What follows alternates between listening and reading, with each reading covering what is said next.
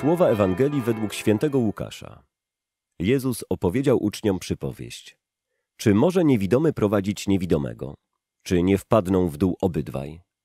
Uczeń nie przewyższa nauczyciela, lecz każdy dopiero w pełni wykształcony będzie jak jego nauczyciel.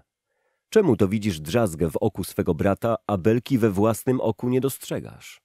Jak możesz mówić swemu bratu, bracie, pozwól, że usunę drzazgę, która jest w twoim oku, gdy sam belki w swoim oku nie widzisz? Obłudniku, wyrzuć najpierw belkę ze swego oka, a wtedy przejrzysz, ażeby usunąć drzazgę z oka swego brata.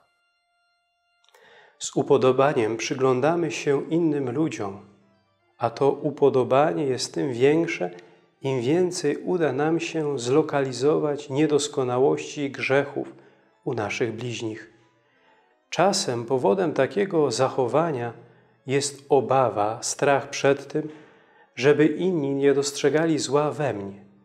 Każdy, kto trwa w jakimś nałogu, próbuje od siebie odsunąć uwagę, wskazując na grzechy innych, wytykając je nieustannie. Najczęściej jednak to drugi człowiek jest lustrem dla nas samych. Widzimy błędy i grzechy własne w życiu innych ludzi. Najbardziej w drugim człowieku przeszkadza nam właśnie to, co jest naszym największym problemem. Ludzie święci są ślepi na grzechy innych ludzi, bo zajmuje im czas walka z własnymi niedoskonałościami, z usuwaniem własnej belki z własnego oka, a nie cudzego. Ludzie grzeszni lubują się w grzechach cudzych, licząc na to, że nikt nie zauważy ich własnych. Zacznijmy oczyszczać świat z błędu grzechu od własnego życia.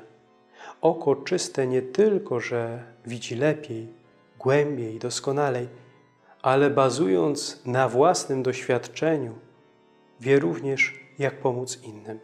Obraz świata widziany okiem zdrowym jest zupełnie inny niż ten oszpecony własnym zanieczyszczeniem. Uwolnijmy zatem świat od nieczystości, brudu zła, zaczynając od własnego życia, a zobaczymy, że odmieni się nie tylko nasze życie, ale również życie innych ludzi.